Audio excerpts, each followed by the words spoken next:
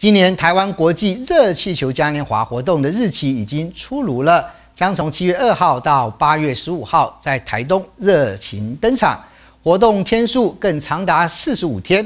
台东县政府交关处表示，预估将会有八十到一百万人次到访台东。至于防疫的问题，交关处则是表示，会依照中央 CDC 防疫原则来办理进行。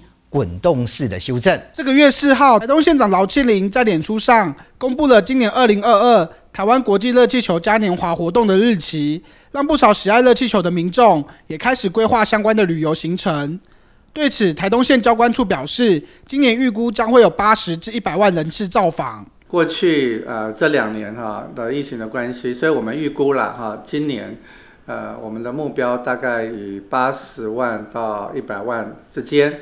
OK，好，那我们希望大家来，不止参加活动了，哈，是 long stay，好，在台东停留时间能够更长。但由于国内目前仍有零星的个案传出，县府交关处也表示，活动将会依照中央流行疫情指挥中心所公布的准则为主，并视情况进行滚动式修正。目前并没有总量管制的呃需求跟必要性。OK，好，那因为我们还是尊重所有游客的选择。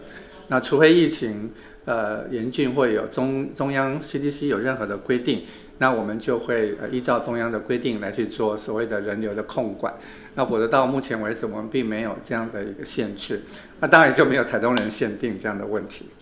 虽然目前距离热气球嘉年华活动开幕日还有三个多月，想要到鹿野高台欣赏热气球的民众，不妨可以提早规划旅游行程。但在感受热气球魅力的同时，也务必遵守防疫规定，才能够玩得安全又开心。记者陈吉林台东市报道。